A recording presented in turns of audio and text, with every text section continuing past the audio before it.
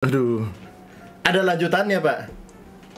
Kamu ada mur nggak? Nggak ada. Kalau nomor HP ada kan? Oh ya ada. Abis dikasih, tanya lagi. Kamu ada mur nggak? Nggak ganti-ganti bukan. Nanyanya kamu mau mur nggak? Loh kan tadi aku udah kasih nomor HP kamu. Misalnya dijawab kayak gitu. Maksud aku, kamu mau nggak seumur hidup sama aku? Uduh. Anjing, cringe anjing. Maksud aku, kamu mau nggak seumur hidup sama aku? Uduh.